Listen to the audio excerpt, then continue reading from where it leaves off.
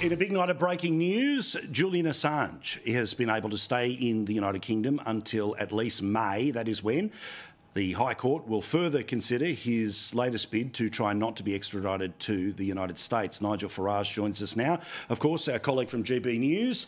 Yet again, a delay. Your thoughts? Yeah, I've met Julian Assange. I went to see him in the embassy a few years ago. Uh, I don't support everything that he did, but I do not want to see him extradited to the USA. Uh, I'm afraid my confidence in their judicial system right now is at an all time low. So the fact that he's been given leave to appeal is, I think, a very good thing. It does seem again that there's these constant what we think is the last moment, and then something happens, and something happens, and something happens. Um, what do you think the mood is uh, amongst the general populace here because he's a figure who has changed and, and uh, over the years about whether he was an anarchist or a journalist or a politician or a, all of these things. And understandably, mm. when you're faced with uh, going off to the United States after dumping their military secrets, you'll do anything to keep yourself out of jail. But do normal people think, okay, uh, uh time served, that's it? I think normal people are confused by the whole thing. They're not sure what to believe or what to think. But, but, I do think in this country there is still very much a sense of fair play, you know? Uh, and, and the idea uh, that if he goes off to America, uh, you know, gets a trial that is frankly completely one sided and then some ridiculous sentence like 200 years in prison. Now, I think most fair minded people would say whatever he's done right, whatever he's done wrong, uh, we should be able to deal with it here in this country. And you know what? He's been stuck in Belmarsh. He's been stuck now for years in that high security prison. I mean, how much more punishment does he deserve? Let's talk about Donald Trump, of course, going from uh, having to pay half a billion dollars today for it now being dropped down, and he gets uh, another 10 days, I think, before it's $155 million. Uh, all of the circumstances around what this situation is to me seems utterly disproportionate, especially when you have to pay the fine despite the fact that you're appealing the case. That again is truly astonishing, you know. And I repeat the point about Julian Assange.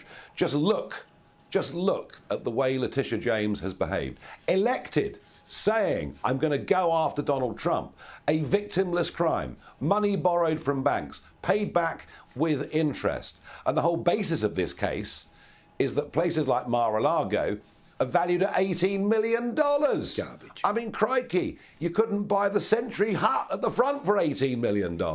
I mean, the whole thing is a nonsense. Good that the fine's been reduced. It's gone from being it's it's gone from being insane to obscene. Uh, it still is absolutely dreadful that he has to pay over this money. And as you say, you know, what is the point of an appeals process if you have to be punished first, even before you can appeal. Well, I mean, literally, we're talking about that in, on both sides of the pond right now. And then there's, of course, the, the lefty freak out. No surprise that they all decided to go nuts because, look, basically, you know, they'd, uh, they'd love to see, uh, you know, a public flogging of the bloke. Here's what they said today. I don't even know if I care what the process is that these judges are arriving at. Whatever it is, it's flawed. I can tell you that much. I mean, D- David put it well. It's this is a different process for, for for this person. We have decided that he gets his own private court of justice.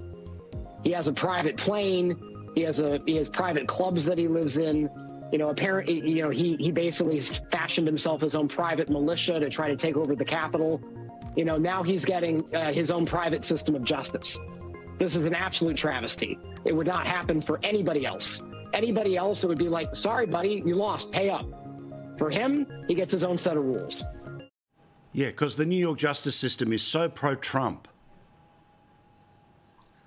I mean, look, it's absolutely farcical and comical, but, you know, we've talked before about Trump derangement syndrome. You know, he just drives some people so nuts uh, that they lose any sense of logic whatsoever. Uh, my answer to that really would be that nobody else would be in court in New York for, I repeat, a victimless so called crime.